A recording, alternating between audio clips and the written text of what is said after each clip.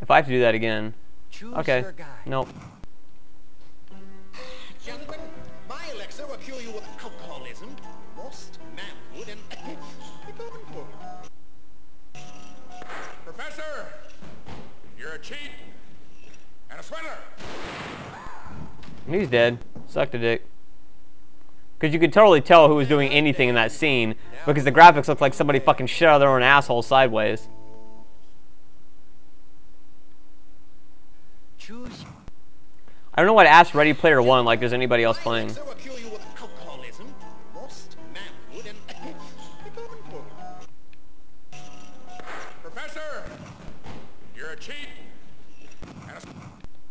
And you're dead. And you're dead. And you're dead. Okay, seriously? Well, The bartender. you only got one life Seriously? left. Like, like really? Really, game? Choose your. Really? This is the most ridiculous fucking light gun game I've ever seen. You're a cheat.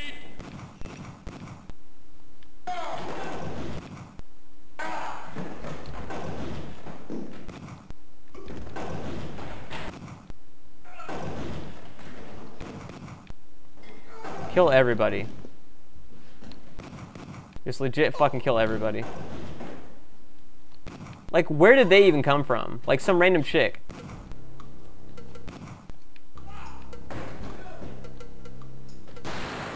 That's so. How would you ever get that? Nobody has that fucking reaction time with a controller. If I have to do that all over the fucking shit again. Oh my god. Wow, wow, wow. Oh, at least I get to start from her. At least I get to start from fucking buckskin fucking bitch tits.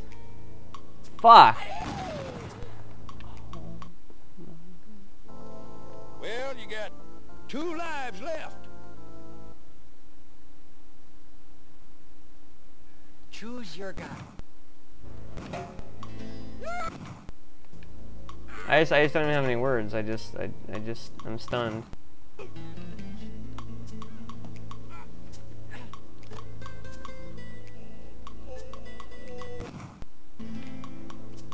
Like, was that actually like, was he actually going to like shoot me on his stomach like that? I like how he says ow.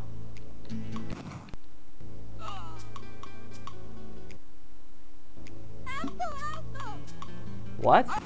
Oh, he's dead. Just like shoot anything that moves. Wow, he fucking died. Okay, now we're back in town magically.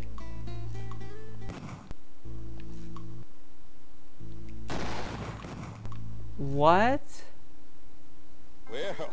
You only got one life left. I feel this is like like this is like like LSD light gun game version, but see that doesn't work. That doesn't work. Choose your.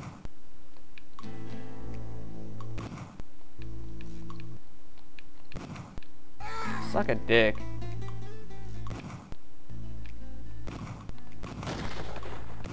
Okay, please explain to me how it's okay that I shot him like three times and then it goes another scene as if he's dead and then he just walks away like nothing fucking happened. Please explain to me how that happened. Please just just just try it. Just try explaining to me how it happened.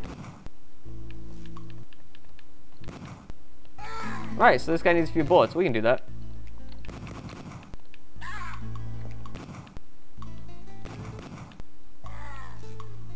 Fucking dead.